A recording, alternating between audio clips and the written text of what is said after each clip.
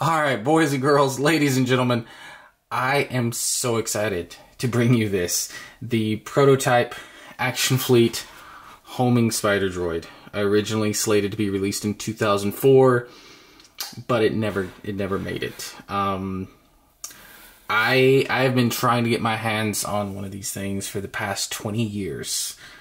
I had it pre-ordered on two different websites um, back in 2004, and those were, of course, canceled when Hasbro let Action Fleet die a very slow death. I saw one go on eBay a couple years later for, I think, $611. Um, I didn't have the funds at that time to get it. And then ever since then, I've had a running search on eBay for uh, Star Wars Action Fleet Spider. I think that's what I was searching for because I actually didn't see this one pop up on eBay. It's because somebody else posted about it because uh, the company that listed it didn't list it as homing spider droid. They list they just listed it as homing droid, so I almost missed it. And it was listed for five thousand uh, dollars from Torpedo Comics, and I decided to take a chance and message them and plead my case and beg them and say, look, I'm, I'm a collector. I this is my website. I've been searching for one of these for a very long time. Here's what this one went for a long time ago. Would you consider it letting it go for such and such price? And I paid significantly less than five thousand dollars. I'm not going to tell you how much, but it was a lot less. I am so glad that they worked with me on that. Uh, as you can see, there are some pieces that are kind of bent. Um, this box has definitely seen better days. Um, yeah, it's uh, it's pretty rough. And because I am who I am, I'm gonna open it. Um, also, you can see that it's it's in the uh, Republic assault ship, the Acclamator class assault ship box. They did not make um, boxes for the homing spider droid. They just used this uh, box as a mock-up for it. So I will keep the box just to commemorate my journey of trying to get one of these things, but I'm honestly not too worried if the box rips or something like that. This box is in really rough condition. Um, yeah, it's it's pretty bad. There we go. There's part one. Ooh, there's some old, ooh, Hasbro dust. Ooh, smells lovely. All right. Next is undoing this part. I'm trying to get this on camera, but you're probably just going to get my hand a good bit because that's how this is. That's how this goes. This tape is just, it's already disintegrating in places. Um, I'm still trying to be very careful. But, uh, anyway. Let's see. Did I miss one? I missed one. Nope, didn't miss one.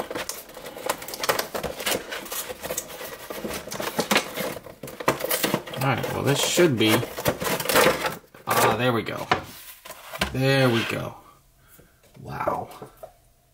And the, the paint job looks fantastic on it just from here. Um, let's try to get this thing out as carefully as I can without nicking it. Uh, obviously, I'm not going to use this as a down payment on a car anymore. I could have. I could have saved it and like, come on.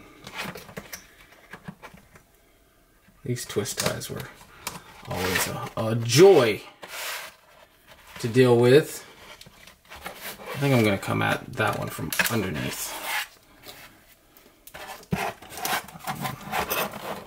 So I can... Yep, there we go. Alright. And some of the legs have already popped off. I don't think that was necessarily shipping damage. I think that it's just been in this box for so long that um,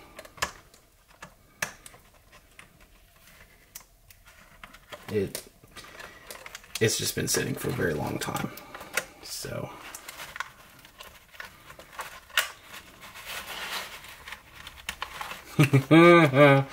oh wow. Okay. Okay. All right, let's snap these legs back on place. Okay. All right, there's some stuff that's gotten a little bent. Um, I can I can deal with that. I can fix that. Um, but overall, those legs are really loose, by the way. I think if they actually went to make this thing, um, they would have to tighten up those legs a little bit. But uh,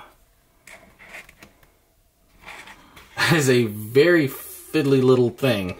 Um, okay, so the feet are ball jointed and actually have a good bit of resistance to them.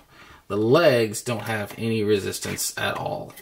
Um, they just kind of sit there. But wow, that is just, that is too cool.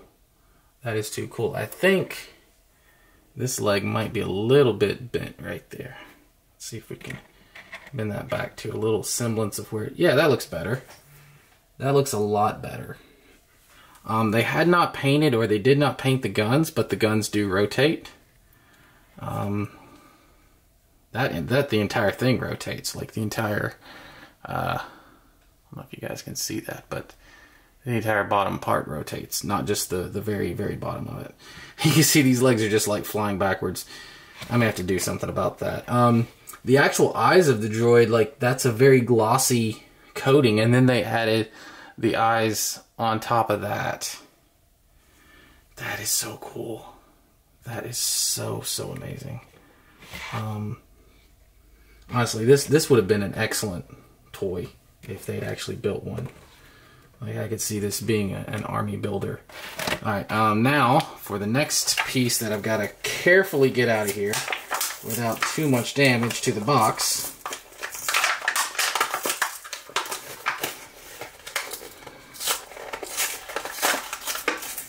I know right now all you're hearing is tearing in the background and some people are like, no, don't tear it.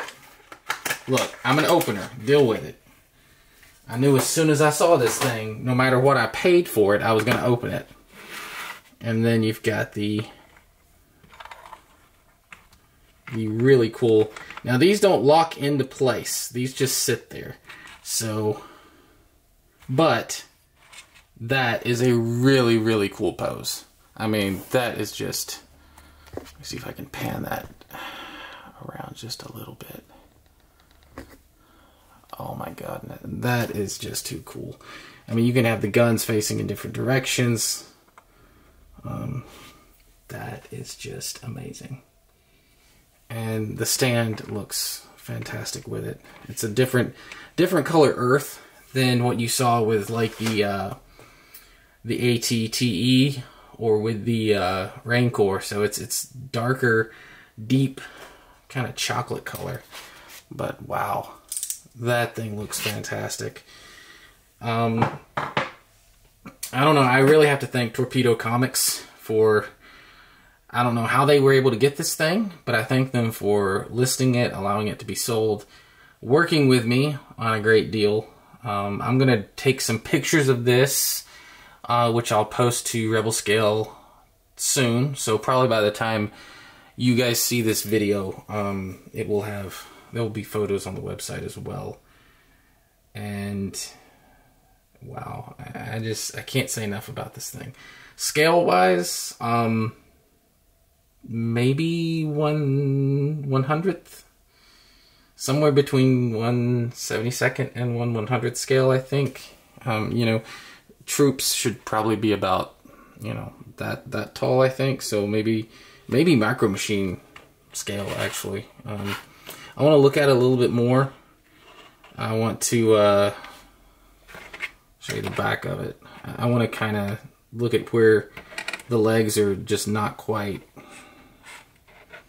a little too wobbly. I want to see if there's something I can do about that without, obviously I don't want to damage this thing um, because of how much it, it costs. But, oh my goodness. I mean, can you, can you just, that is just so cool. That is just so cool. And really posable. A lot of, lot of posability. I mean, I, I wish that there was a little bit more, but the legs are so small and fiddly, um, I'd be afraid of anything else. And it, just in case you're curious, this is actually a harder plastic. These legs are a harder plastic. These are the more flexible plastic. The guns are the more flexible plastic, like you saw with the um, the ATTE's uh, blasters. They were that flexible plastic color, but you know, I mean, that is. Oh, and here we go. Has a 2003 date on the bottom. Hasbro, China, Action Fleet. I mean, this thing was ready to go into production. They were so close. I wish they had, because this was going to come out alongside the Jedi Starfighter, um, Zam Wesell's, and Anakin Skywalker's airspeeders. They had a Mon Cal cruiser that I had pre-ordered, a um, Ralph McQuarrie blue A-wing. They had plans for a Star Destroyer. They had announced that they were going to do a Hailfire missile droid. They had so many things that they were going to release, and it just never, never came to fruition. And I'm sure those molds are long gone. It's a little, little issue where the eye missed a little bit of painting right there. Um, I am probably not going to touch that up though. I I want to keep this thing and display it in as close to the original condition as possible. Um, all I'm going to do is try to bend back a few pieces that, that have gotten bent over the years of it probably sitting. Um, try to straighten out some of these legs just a little bit. I really think this leg was was kind of bent in the process of it being displayed awkwardly. Um, but yeah, I mean that even even just moving the legs around like this, you can you can really make some cool scenes. Like a kid would have a field day with this if they liked this size and this scale. And honestly, I don't know if uh, Micro Galaxy Squadron is going to do one because these only appeared really in Attack of the Clones. I mean, you see them in the background of uh, Revenge of the Sith, but they only appeared in Attack of the Clones. We never saw them in the Clone Wars. They they never were painted in separatist colors or anything like that. Um, so I don't know if Micro Galaxy Squadron is going to do something like this. And I love this vehicle. I thought it I, all of the vehicles, really, Attack of the Clones, I loved all the vehicles and stuff. I really liked that movie. Um, and I would love to see some other things, like the big um, SPHAT walkers with the giant turbo lasers. I'd love to see a, a Hailfire missile droid that's about that size. Um, I mean, there's just there's so so many options that they could do. Cargo gunships, tons of things. We'll see what Micro Galaxy Squadron does. Um, but I know that they want to focus on things that they can repaint and not things that, you know, are more or less one offs. But we'll see. What date does this thing have? 2003. Hasbro China. 2003. Here's the mold release. the mold, the the mold release points for it. Uh, that's a really cool looking base. That is really neat. But anyway, guys, like I said, photos are going to be up. I have no qualms about taking it out of the box. I knew I was going to do that the minute I got it. So, anyway, thank you guys for tuning in. Um, I hope you enjoyed this. Please ask me any questions you have about it. If anybody knows how many are out there, or if you have one, I would love to know how many that are actually made. I know of at least three others. There's a guy in China that has a buddy of mine that has two of them, one open and one sealed. And then there's another one uh, sealed that I have seen. And I don't think it was this one. I don't think this one got traded around. Um, but I don't know.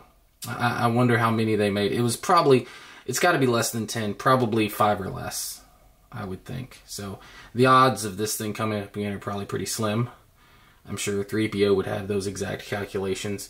And you know, if if you have Action Fleet Star Wars prototypes or Micro Machine prototypes and you would like to share some photos for rebelscale.com, I would love to include those because obviously I'm going to take a, a thousand shots of this thing and include those shots. And if anybody else wants to toss in the ring, I'd be glad to give you a shout out on the website because I just I love having that information out there.